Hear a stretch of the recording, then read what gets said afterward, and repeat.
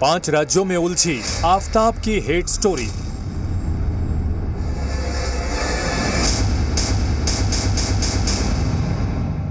श्रद्धा से हैवानियत पर सबसे बड़ा खुलासा।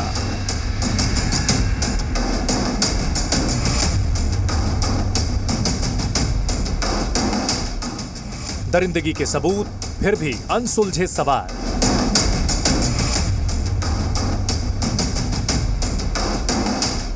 श्रद्धा के कातिल आफ्ताब का अब होगा सच से सामना।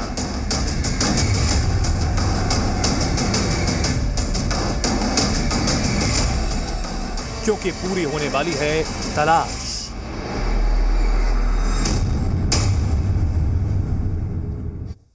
नमस्कार, स्वागत है आपका न्यूज़ स्पेशल में। आपके साथ मैं हूँ अभिषेक कात्यायन। दिल्ली के श्रद्धा मर्डर केस में रोज नए खुलासे हो रहे हैं। पुलिस की जाँच दिल्ली समेत अब पाँच राज्यों में पहुँच गई है, पाँच राज्यों में चल रही है और इस बीच पुलिस को एक सीसीटीवी फुटेज मिला है। इसमें आफ्ताब एक बैग लटकाए दिख रहा है। वहीं पुलिस को आफ्ताब के घर से एक नुकीला हथियार भी मिला है, लेकिन सवाल ये कि क्या ये सबूत आफ्ताब को सजा दिलाने के लिए काफ़ी है या श्रद्धा मर्डर केस की गुत्थी अभी सुलझना और बाकी है?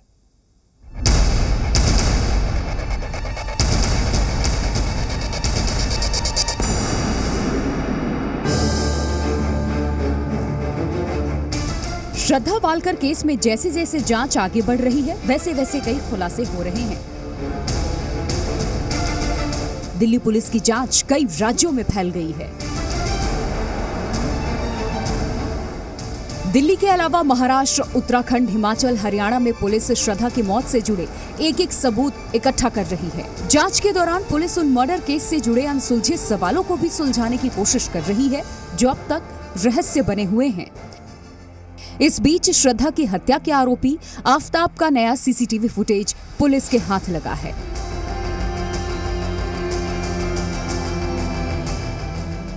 ये फुटेज 18 अक्टूबर की सुबह चार बजे का है, जिसमें आफ्ताब एक बैग ले जाते हुए दिख रहा है। पुलिस को शक है कि इस बैग में आफ्ताब श्रद्धा के बॉडी के टुकड़ों को फेंकने गया था। क्योंकि ये सीसीटीवी फुटेज मेहरौली जंगल की ओर जाने वाले रास्ते का है। फुटेज में है कि आफ्ताब ने उस रात तीन चक्कर लगाए थे। Delhi police Shraddha murder case से जुड़े हर सबूत को इकट्ठा कर रही है। इस सिलसिले में पुलिस को आफ्ताब के घर से एक हथियार नुमा चीज़ मिली है। पुलिस इसे बड़ी सफलता मान रही है।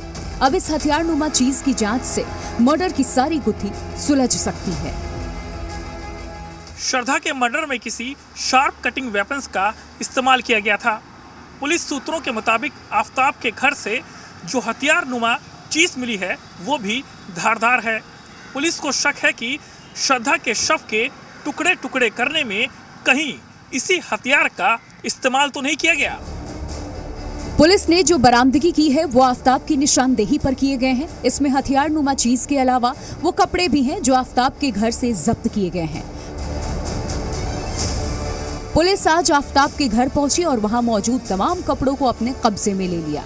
इसमें ज़्यादातर कपड़े आफ्ताब के हैं। इसके अलावा पुलिस को आफ्ताब के घर से श्रद्धा के कपड़े भी मिले हैं। पुलिस ने आफ्ताब के घर से मिले कपड़ों को फोरेंसिक जाँच के लिए भेज रही है।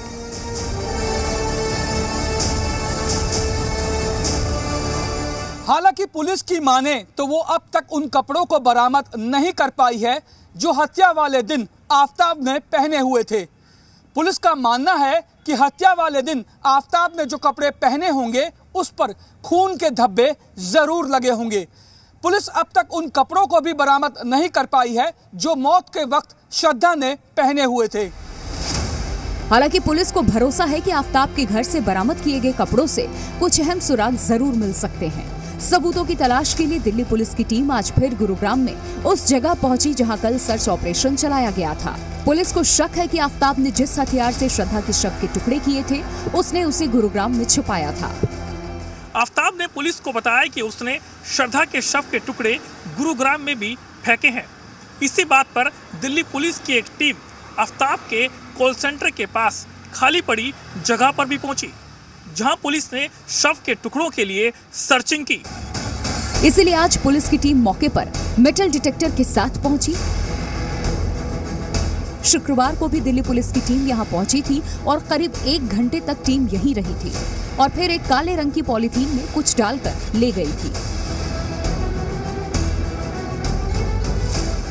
आरोपी आफ्ताब ने श्रद्धा के शव के सभी हिस्से जंगल में फेंकने की बात कबूल कर ली है और पुलिस को दिल्ली के छतरपुर और मेहरोली के जंगलों से कुछ हड्डियाँ मिली भी हैं।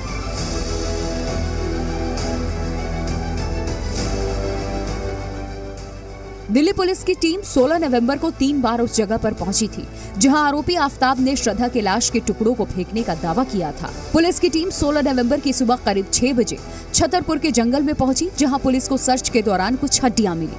वहीं दूसरी बार दिल्ली पुलिस की टीम सुबह करीब 9 बजे मेहरौली के जंगल वाले इलाके में सौ फूटा रोड पर पहुँची, जहाँ पुलिस को सर्च के दौरान एक बड़ी हड्डी मिली। ये हड्डी देखने में शरीर की फेमर बोन लग रही थी। ये वो हड्डी है जिसे थाई बोन कहा जाता है। जबकि तीसरी बार दिल्ली पुलिस की टीम छतरपुर एनक्लेव के पास जंगल एरिया और मेट्रो पिलर के पास जंगल एरिया में पहुँची थी। सबसे बड़ी बात यह भी है कि इन हड्डियों पर किसी बड़े तेज धारदार हथियार के कट के निशान मिले हैं। शुरुआती जाँच में ऐसा लग रहा है जैसे किसी ने इन हड्डियों को काटने और तोड़ने की कोशिश की हो। लेकिन सवाल यह है कि ये हड्डी क्या किसी इंसान की है या फिर जानवर की? पुलिस सूत्रों से मिली जानकारी के मुताबिक पुलिस को सर्च के दौरान रेडियस उल्ना पेटिला और फेमर हड्डियाँ मिली हैं। रेडियस उल्ना उसे कहते हैं जो हाथ की कलाई और कोनी के बीच की हड्डी होती है। पटेला यानी वो हड्डी है जिसे नी कैप भी कहते हैं। हालाँकि पुलिस ने यह साफ़ नहीं किया है कि जो हड्डियाँ मिली हैं वो किसकी हैं? क्या ये हड्डियाँ श्रद्धा की हैं या फिर किसी और की? दिल्ली के साथ साथ श्रद्धा मर्डर केस का उत्तराखंड और हिमाचल कनेक्शन भी सामने आया। आफ्ताब और श्रद्धा ऋषिकेश के शिवपुरी में वशिष्ठ गुफा नाम की जगह पर घूमने गए थे।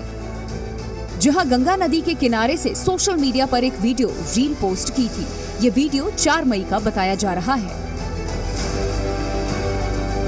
श्रद्धा हत्याकांड के बाद दिल्ली पुलिस की जाँच अब उत्तराखंड की तरफ़ भी बढ़ गई है। उत्तराखंड में जहाँ पर श्रद्धा ने आखिरी अपनी रील बनाई थी। मैं उसी जगह पर मौजूद हूँ। ये गुल्लर क्षेत्र है। यहाँ पर आप देख सकते हैं कि जो ये पत्थर है, इसी पत्थर पर बैठ करके उसने अपनी आखिरी रील बनाई थी, जिस पर लिखा था कि मैं 1500 किलोमीटर दूर चल करके यहाँ पर आई हूँ। अब दिल्ली पुलिस की जाँच में क्या निकल करके आता है और कब यहाँ पहुँचती है, वो क्या साक्ष्य जुटाती है, ये आने वाले समय में पता चल पाएगा। सूत्रों से मिली जानकारी के मुताबिक पुलिस को शक है कि आफ्ताब ने श्रद्धा के शव के कुछ टुकड़ों को उत्तराखंड की पहाड़ियों में फेंक दिया था। यही वजह है कि श्रद्धा के मर्डर करने से लेकर उसके शव के 35 टुकड़े करने तक पुलिस एक एक अनसुलझी गुत्थी का जवाब तलाशने में जी जान से जुटी है। हालाँकि मुसीबत यह है कि पुलिस के सारे सवालों का आफ्ताब चालाकी से जवाब दे रहा है और जाँच टीम को गुमराह कर बचने की कोशिश कर रहा है। लेकिन दिल्ली पुलिस का दावा है कि जल्द ही आफ्ताब का सच सामने होगा। नीरज गौड़, रजनीश शर्मा के साथ bureau report, Zee media. Shraddha ने आफ्ताब के बारे में अपने कई दोस्तों को बताया था। आफ्ताब हमेशा श्रद्धा को मारता पीटता था, पुलिस श्रद्धा के दोस्तों से पूछताछ कर रही है और आफ्ताब के बारे में अहम सबूत जुटा रही है। पुलिस श्रद्धा के दोस्तों के बयान और व्हाट्सएप चैट को आफ्ताब के खिलाफ सबूत के तौर पर पेश करेगी। इसके बाद आफ्ताब पर शिकंजा कस सकता है।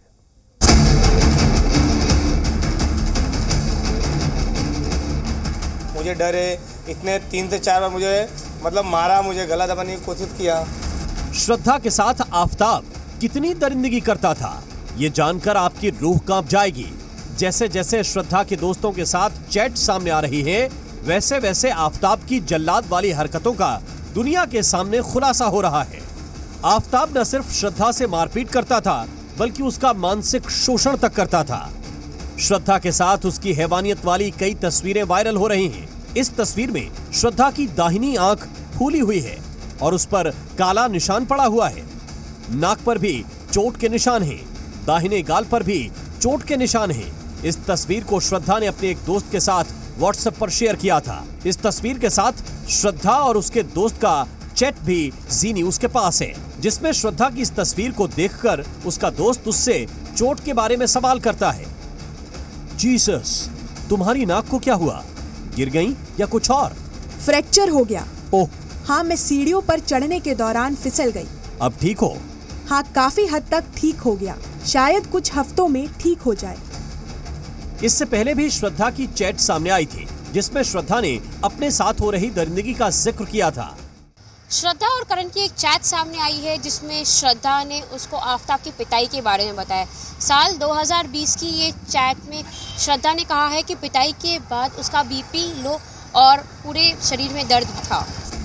इससे पहले श्रद्धा के पूर्व टीम लीडर करण के साथ साल 2020 में की गई चैट में श्रद्धा ने उसके साथ हुई मारपीट का ज़िक्र किया था। चैट में श्रद्धा कह रही थी कि इतनी चोट लगी है कि बिस्तर से उठने की ताकत नहीं है। ये तो सिर्फ़, सर नवंबर 2020 में जब ये बहुत ज़्यादा हो गया था और बहुत बुरी तरह जब इसको मार पड़ी थी आफ्ताब से। उस दिन ये घर अपना लॉक करके ये बाहर भागी थी। सर उसकी राइट आईज के नीचे एक पूरा ब्लैक मार्क हो गया था जैसे बहुत बुरी तरह जैसे किसी ने पंच मारा होगा उसको। श्रद्धा के पुराने बॉस ने यह भी खुलासा किया कि श्रद्धा मारपीट की घटना की शिकायत पुलिस में करना चाहती थी। लेकिन आफ्ताब ने यह भरोसा दिलाया कि दोबारा ऐसी घटना नहीं होगी और श्रद्धा आफ्ताब की बातों में आ गई। यही नहीं श्रद्धा ने ऑफ़िस के लोगों को बताया हुआ था कि आफ्ताब उसका पति है। श्रद्धा ने रिटर्न कंप्लेंट ऑलमोस्ट फ़ाइल कर दी थी। लेकिन आफ्ताब और उसके पेरेंट्स ने जब अश्योरेंस और गारंटी दी श्रद्धा को कि ये इंसिडेंट फिर से रिपीट नहीं होगा और आफ्ताब तुरंत ही उस घर से निकल जाएगा और वो श्रद्धा से संपर्क में भी नहीं रहेगा। तब श्रद्धा ने डिसाइड किया कि इसको एक लड़के को एक दूसरा चांस देना चाहिए सेकेंड चांस देना चाहिए। इस वजह से उसने एफआईआर फ़ाइल नहीं की। इस बीच पुलिस ने श्रद्धा के दोस्तों से पूछताछ की है। जाँच के लिए मुंबई पहुँची दिल्ली पुलिस की टीम ने श्रद्धा के दो दोस्तों को बयान दर्ज करने के लिए बुलाया। इन दोनों दोस्तों के नाम राहुल राय और गॉडविन हैं। वहीं गॉडविन वो शख्स है जिसने श्रद्धा की मेडिकल रिपोर्ट और चोट के निशान वाले फ़ोटो मीडिया को उपलब्ध कराए थे। यानी गॉडविन श्रद्धा और आफ्ताब के रिलेशन के बारे में बहुत कुछ जानता है। गॉडविन ने बताया कि आफ्ताब श्रद्धा को बुरी तरह टॉर्चर करता था। हत्या करने से पहले कई बार आफ्ताब ने श्रद्धा के साथ मारपीट की थी। एक बार ऐसी मारपीट के बाद गॉडविन ने श्रद्धा को हॉस्पिटल में भर्ती भी करवाया था। आज गॉडविन ने पुलिस के सामने आफ्ताब की हैवानियत का कच्चा चिट्ठा खोल कर रख दिया। वो दिन उनके साथ मारपीट हुई थी और उनको चोक किया गया था मतलब गला दबाया गया था जिसकी वजह से वो अपने आप को वो घर से बचा के भाग के आई थी। तो उनको इमीडिएट हेल्प चाहिए था। जिसकी वजह से मैं उनको पुलिस स्टेशन लेके गया था। इससे पहले कल केस में सबसे अहम सबूत श्रद्धा के दोस्त लक्ष्मण नाडर का बयान दर्ज किया गया था। लक्ष्मण ही वो व्यक्ति है जो श्रद्धा और उसके परिवार के बीच की कड़ी था। इसने ही सबसे पहले श्रद्धा के भाई को जानकारी दी थी कि उसका फ़ोन कई महीनों से बंद है, जिसके बाद श्रद्धा के पिता ने पुलिस में शिकायत दर्ज करवाई थी। लक्ष्मण से पुलिस ने कई सवाल पूछे। पुलिस ने पूछा कि आफ्ताब से आखिरी बार कब बात हुई? लक्ष्मण ने कहा कि श्रद्धा की मौत के कुछ समय बाद मैंने आफ्ताब को फ़ोन किया था। ये पूछने के लिए कि श्रद्धा कहाँ है? और उसका फ़ोन क्यों नहीं लग रहा? लक्ष्मण ने पुलिस से कहा कि आफ्ताब ने मुझे कहा कि उसका श्रद्धा से ब्रेकअप हो गया और वो मुझे छोड़कर चली गई है। लक्ष्मण ने पुलिस को बताया कि उसकी आफ्ताब से 22 मई के बाद बात नहीं हुई। लक्ष्मण के बयान से साफ़ है कि श्रद्धा के बारे में आफ्ताब झूठ बोल रहा था। पुलिस लक्ष्मण के इस बयान को चार्जशीट में इस्तेमाल करेगी। श्रद्धा के सामने आ रहे व्हाट्सएप चैट को भी पुलिस आफ्ताब के खिलाफ सबूत के तौर पर इस्तेमाल कर सकती है। जैसे जैसे श्रद्धा के दोस्तों के साथ चैट सामने आ रहे हैं वैसे वैसे पता चल रहा है कि आफ्ताब कितना हैवान था। हर चैट में श्रद्धा ने अपने दोस्तों के साथ आफ्ताब की दरिंदगी का ज़िक्र किया है। श्रद्धा को ये भरोसा था कि एक दिन आफ्ताब उसके घर से चला जाएगा और सब ठीक हो जाएगा लेकिन ऐसा नहीं हुआ। यहाँ रुकेंगे एक छोटे से ब्रेक के लिए फ़ौरन लौटते हैं।